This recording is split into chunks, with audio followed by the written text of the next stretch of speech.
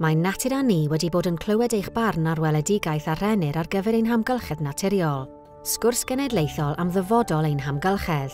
Yn gynnar yn 2022, rhanodd dros 2,000 o bobl ei barn am ddyfodol ein hamgylchedd naturiol, am yr hyn sydd bwysicaf a'r hyn sy'n ein poeni am yr amgylchedd, a pha gamau sydd ei hangen i greu dyfodol mwy cadarnhaol i natur ac i ni.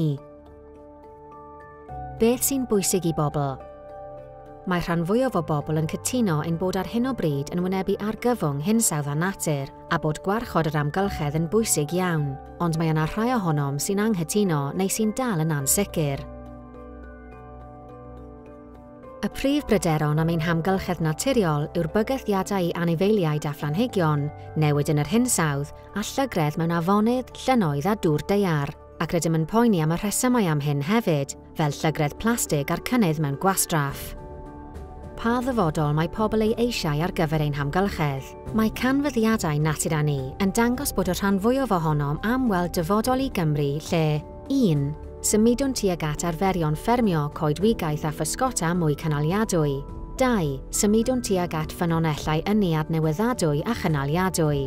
A 3. Rydym yn gofalu am, yn amddiffyn ac yn gwella ein mannau naturiol hoffai rhan fwyaf ohonom weld dyfodol sydd am mwy o gydraddoldeb o ran mynediad i fannau gwyrdd, mwy o fwyd yn cael ei gynhyrchu'n lleol, gwell trafnidiaeth gyhoeddus, mwy o ailgylchu a llai o wastraff. Mae rhan fwyaf ohonom yn meddwl y bydd bywyd yn 2050 yn wahanol iawn, Dychmygwn gymdeithas sy'n gofalu am ein hamgylchedd ar ein cyfer ni ac ar gyfer cenedlaethau'r dyfodol. Cymdeithas lle mae pobl yn gwneud dewisiadau mwy meddylgar o ran ei ffordd o fyw, yn defnyddio llai o adnoddau, a lle mae'n anoddach gwneud pethau sy'n newidio'r amgylchedd. Pa newidiadau y mae pobl yn fodlon ei gwneud eu hunain? Mae llawer ohonom yn fodlon newid ein ffordd o fyw er mwyn helpu greu dyfodol gwell i'r amgylchedd daeth cefnogi bywyd gwyllt mewn gerddi a chymunedau i frig y rhestr o bethau rydym yn fodlon ei newid, ac yna bwyta cynnyrch lleol tymhorol ac ymrwymo i ail ddefnyddio ac atgyweirio mwy yn hytrach na thaflu pethau ffwrdd a phrynu pethau newydd. Rydym hefyd yn fodlon defnyddio llai o ynni yn y cartref, taflu llai o fwyd a gwneud newidiadau i'n deiet a'r ffordd rydym yn teithio.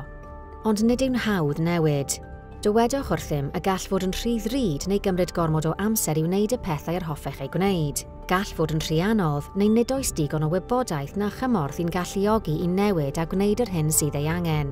Daeth yr holl wybodaeth yma o'r sampl gyntaf o ddata i ni edrych arni. Dros fisoedd yr haf, byddwn yn parhau weithio gyda sefydliadau a dinasyddion i archwilio pa rai o'r syniadau a'r camau gweithredu rydym wedi casglu, sy'n adlewyrchu safbwyntiau gwahanol gymunedau yng Nghymru, lle mae cytundeb a lle mae angen gwaith pellach i ddod o hyd i dir gyffredin. Mae natur a ni yn ymwneud â datblygu gweledigaeth y gall pawb yng Nghymru fod yn rhan ohoni.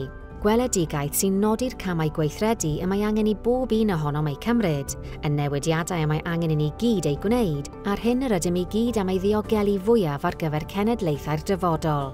Gallwch chi ddechrau gwneud y newidiadau rydych chi'n meddwl sy'n bwysig heddiw. Gallwch hefyd ymweld â wdrifflig.naturani.cymru a chofrestru am ddiweddariadau i gael y wybodaeth ddiweddaraf am ein canfyddiadau a chyfleoedd i gymryd rhan. Mae'r fideo hwn yn cyflwyno crynodeb o rai o'r canfyddiadau cynnar yn y sgwrs natur a ni. Ni ddylid ystyried y canfyddiadau a gyflwynir yn y fideo hwn fel canlyniadau terfynol sgwrs natur a ni, a gall themau a thueddiadau fod yn wahanol i rhai yn y weledigaeth derfynol.